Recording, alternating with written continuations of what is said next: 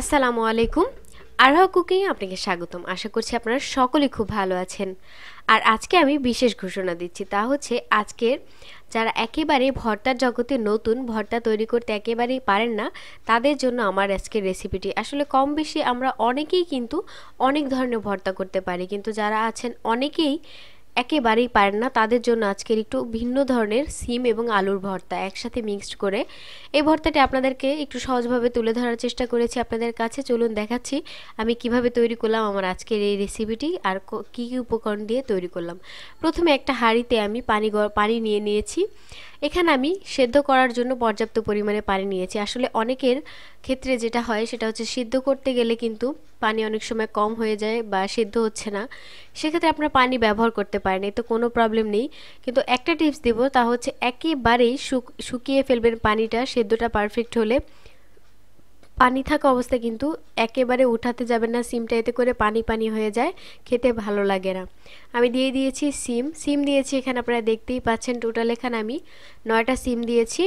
দিয়েছি কিছু কাঁচা মরিচ আর দিয়েছি দুটো আলু, দেশি আলু আর লবণ। দিয়ে আমি সেদ্ধ করে নিয়েছি। সেদ্ধ করে নেওয়ার পর এখানে আমি খোসাটা ছাড়িয়ে নিয়েছি আলুগুলোর এবং মরিচ আর সিমটা হাত দিয়ে খুব ভালো করে মথে নিচ্ছি আলুগুলো সহ। এই মথাটা যত বেশি ভালো হবে, সিম আলুর যে ভর্তাটা তৈরি করলে এত সুন্দর একটা ফ্লেভার আসে, খেতে অসম্ভব মজা লাগে। তাই আমি একটু আপনাদেরকে অন্যভাবে তৈরি করে দেখাচ্ছি, সেদ্ধ কাঁচামরিচ দিয়ে। কাঁচামরিচটা সেদ্ধ করে নেওয়ার পর এটা রঙটা কেমন হয়েছে আপনারা দেখিয়ে বুঝতে পারছেন। আমি হাত দিয়ে খুব ভালো করে মথে নিচ্ছি। আর এই মথার কাজটা অবশ্যই খুব ভালো করে করতে হবে। অনেকে আছে গরম সহ্য করতে পারে না, সেক্ষেত্রে একটু ঠান্ডা করে নিলে কোনো প্রবলেম নেই। আমি এখানে ঝালটা যাতে কম লাগে, আমার হাতে যাতে না লাগে, সেই, তার জন্য আমি হাতে একটা পলিথিনের গ্লাভস ব্যবহার করে নিয়েছি। খুব ভালোভাবে মিশিয়ে দিচ্ছে আলুর সাথে, সিম এবং মরিচটা। যেহেতু আমি লবণ দিয়েছি, এখানে আমি লবণটা একটু কমই অ্যাড করব। হাত দিয়ে প্রথমে এটা একটু মথে নিচ্ছি।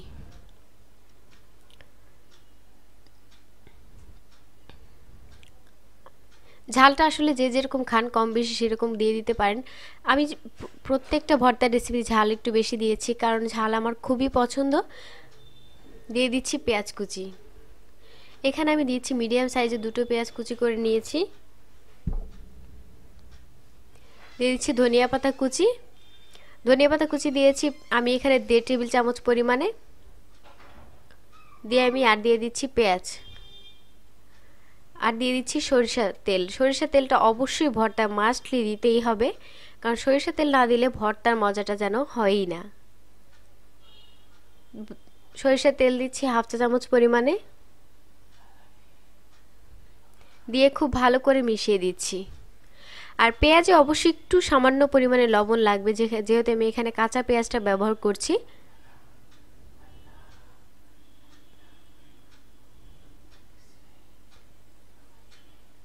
দিয়েছি সামান্য পরিমাণে লবণ।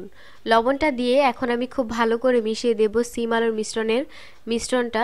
আপনারা দেখি বুঝতে পারছেন আমি কীভাবে করছি। লক্ষ্য করে দেখলেই এই ভর্তাটা এত সোজা এবং খেতে এত বেশি টেস্টি, বাসায় ট্রাই না করলে আসলে বুঝতে পারবেন না। আপনাদের সাথে শেয়ার করছি সহজভাবে। আমি হাত দিয়ে খুব ভালোভাবে মিশিয়ে নিলাম। আসলে সব কিছুরই তো একটা সৌন্দর্য আছে, তাই না? তাই পরিবেশন করে একটু সুন্দর দেখানোর জন্য পরিবেশন করে দিচ্ছি। তো ভিওয়ার্স তৈরি হয়ে গেছে আমার আজকের খুব মজার সিম আলুর মিক্সড ভর্তা। অসম্ভব মজার এই রেসিপিটি আমি খুবই পছন্দ করি। সকালে আসলে গরম গরম ভাতের সাথে এই রেসিপিটি খুব ভালো যায়। আর যারা একটু ঝাল প্রিয়, তাদেরকে বলব অবশ্যই রেসিপিটা কিন্তু করে খাবেনি তা না হলে চরম মিস করে যাবেন আমার মতো। আমি যেরকম, ভর্তা না হলে আমার চলেই না।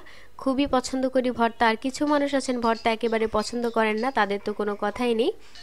অবশ্যই ভালো লাগলে আমাকে কমেন্ট বক্সে কমেন্ট করে জানাবেন। আর সবাই ভালো থাকবেন, সবাইকে ভালো রাখবেন। আল্লাহ হাফেজ।